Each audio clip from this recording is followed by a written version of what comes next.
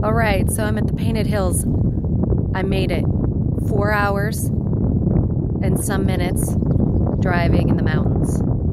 It is uh, 102 degrees here.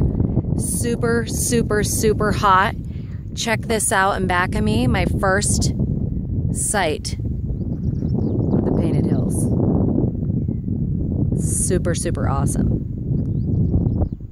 I'm super stoked. I'm not even in the thick of it yet, um, but just wanted to stop and catch a glimpse and do a little video here. I'm going to be driving a little bit more into the Painted Hills uh, unit of the John Day uh, National Forest, and um, we'll record more. Talk to you later. Bye.